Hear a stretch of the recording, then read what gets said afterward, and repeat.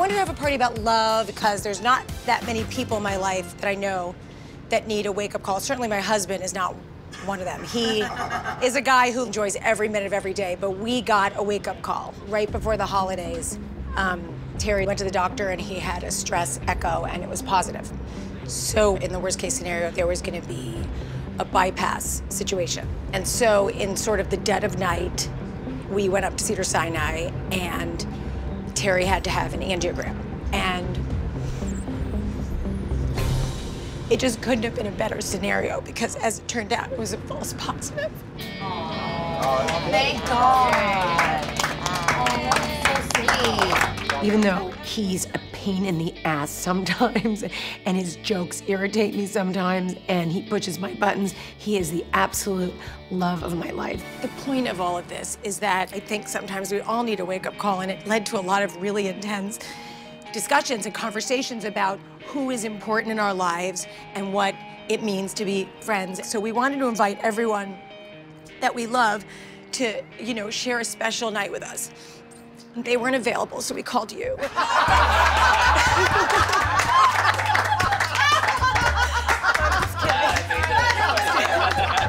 Thank you all for coming in. We really do love you all.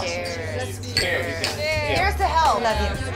It's almost like having cancer and not really having it. Oh my God. Oh my God, she's so hateful. You see that? It's really sad. Somebody can have so much anger and hate, right? Shannon can kiss my ass. How she's treating me is really despicable. Bon appetit, everyone. Those are french fries. Keep those over there. Tamra, you could just smell them.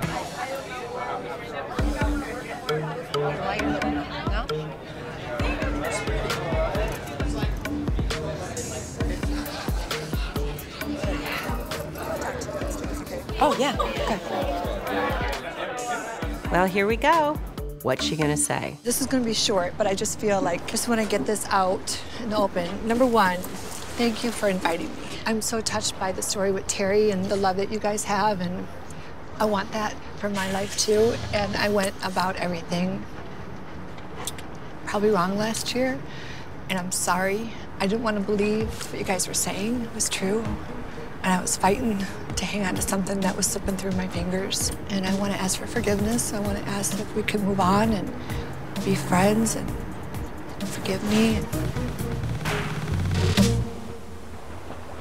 You said that you had doubts at some point. There was a lot of red flags. Why did you not immediately call everyone and go, God, you were right. Oh my God, what the f? To this moment, right now, I still uh, don't understand why he did what he did.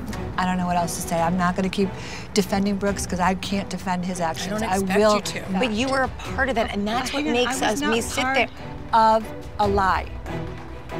Sometimes speaking to Vicki is like being on a hamster wheel, and you just go around and around and around and around. Either you're going to apologize for lying, or you're not. Choose. Why was everybody so concerned and focused on his health? Because everyone knew it was bullshit. He did it to me. I don't care what Brooks did. I only care your involvement in it. He obviously lied to me. She's like ready to cry. Tonight you guys haven't made an effort.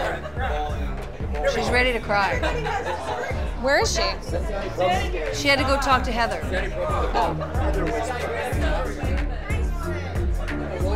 You gotta talk to her. I know she should make an effort too, but you need to make an effort. I know she's been mean and all that, but she's so sad. This is typical Gina. She always comes and rescues the underdog, and she wants everybody else to apologize to them. And I'm thinking, shut the f- up!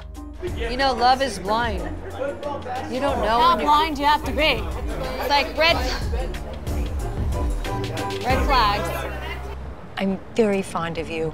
I love your kids. I appreciate where you're coming from, and I'm very, very glad you came. I know who I am, and I know I love my men when I'm in it. I was both feet and in my wildest dreams, nobody would ever do this to me or anybody.